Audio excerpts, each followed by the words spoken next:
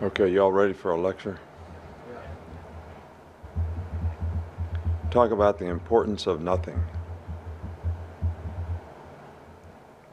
You get up every day, you're entitled to nothing. Nobody owes you nothing.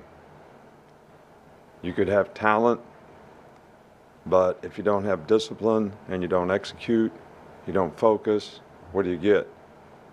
Nothing. If you're complacent and not paying attention to detail, what does that get you? Nothing. So, nothing is acceptable but your best.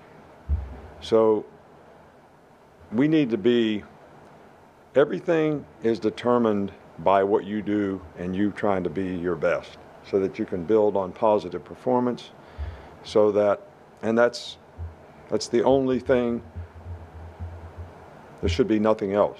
Right but that you know for everybody. Um, so that's what we have to stay focused on. That's what we need to do. Um, and you know we got rained out today so we had to go inside.